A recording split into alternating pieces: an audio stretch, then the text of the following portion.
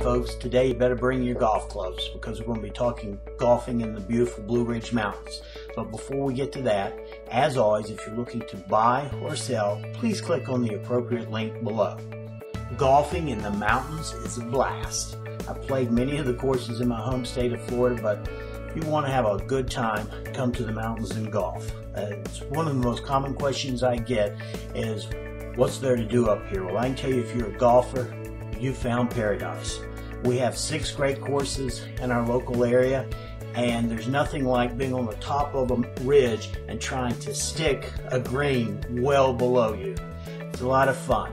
So let's let's look at a few of our courses. The first course is over in Murphy, North Carolina. Uh, it's an older course, but a wide open course. And if you're coming up to play that course, which is Cherokee Hills, bring a little extra cash because, as many of you know, they just opened up a big new casino there.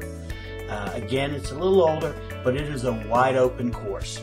Next, come over from Murphy, North Carolina to Clay County or Hayesville, North Carolina, and there's two nice courses there. There's a county-owned course called Chatuge Shores course, and it kind of says it all in its name. It's right on the shores of beautiful Lake Chatuge.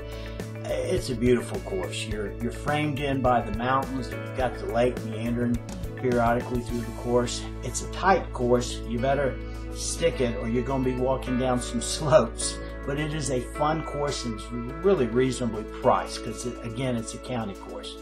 Next in Clay County is the Ridges. The Ridges uh, at Mountain Harbor is a uh, nice course just, just bought by the Homeowners Association within the past, let's say, six months to a year. Very nice course, magnificent, multi-million dollar clubhouse, pool area.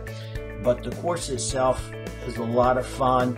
Uh, there's some tight holes, there's some wide open spaces. Uh, that's the course where on one of the greens, or one of the ways, you're way up high and you just have to nail a little chasm that jets out or your ball's lost. Uh, a lot of fun on that course.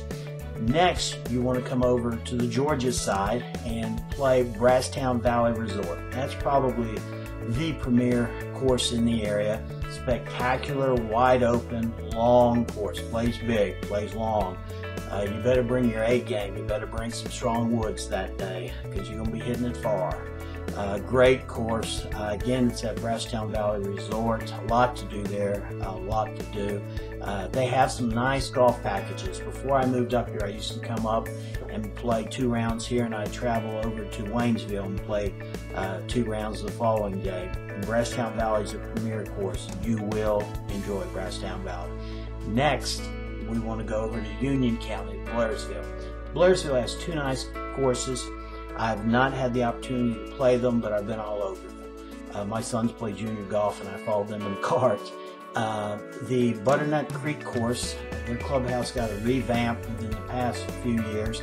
Nice clubhouse, nice tight course, uh, very pretty. Again, you're framed in by the mountains. You've got streams, creeks, ponds, just a nice course. Uh, finally, and this is the newest course in our area, is Old Union. It's a new subdivision that's built between Murphy and Blairsville. It's a nice course. It's more of a wide open course. But those are the six courses uh, to play in our area. Uh, they're challenging. They're very challenging. Whether you're looking for a tight, short course such as you can find over on the shores of Lake Chatuge, or you're looking for a challenging, all-out, wide open course as Brasstown Valley provides. You're going to enjoy yourself golfing in the mountains. And if you're looking to buy or sell golf course community property up here, please give me a call. Again, my name is Rick Andrews. I appreciate you watching. Thank you.